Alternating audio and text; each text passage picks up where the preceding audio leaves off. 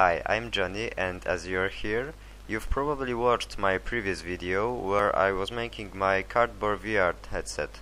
I showed there how to make your own lenses and you can see this clip right now.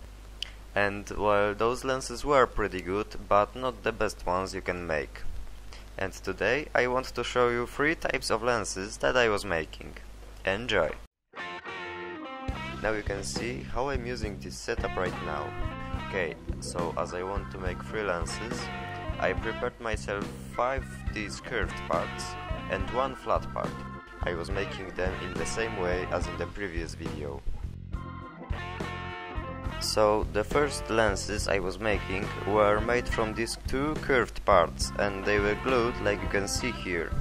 My second lenses were those you can see in my previous video. They were made from one curved part and one flat part as you can see here.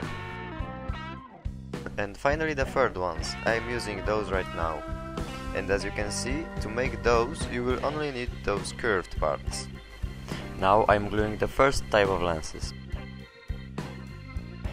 As you can see, I left here tiny gap and that's where I will stick my needle later. Now I'm gently squeezing those two parts together.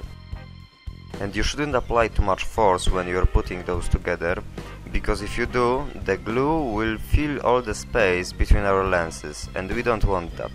Now I'm letting it dry for a few hours. And then I'm moving on to the second lens. I'm gluing the sides of the flat part and then I'm covering it with the curved part. And finally the third ones and the best ones I've made so far. Okay, now when the glue finally dried, I'm moving on to fill those lenses with water. I had some troubles with the first lens because when I was gluing them, I might accidentally squeeze them too hard and the glue spread out too much. So I had to trash those and make new ones.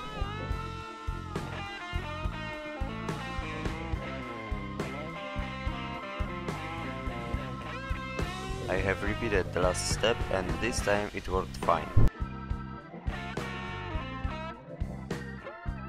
But as you can see those lenses aren't changing much in your field of view, so I moved on to the second type.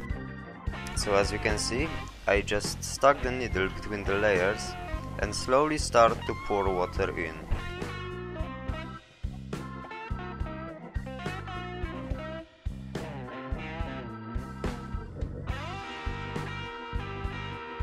Then I sealed the hole with healthy amount of glue and let it dry for another few hours. You can also gently tap it a few times to get those bubbles out. And finally the last lenses. Here I'm doing basically the same thing I did before. I'm trying to find the gap that I left earlier without glue and stick the needle into it.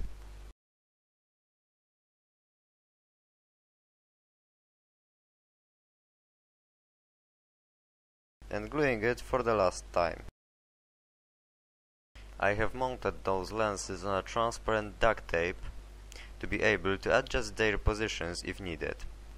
And here it is, my current and best working virtual reality headset. Thanks for watching, I hope you've enjoyed the video.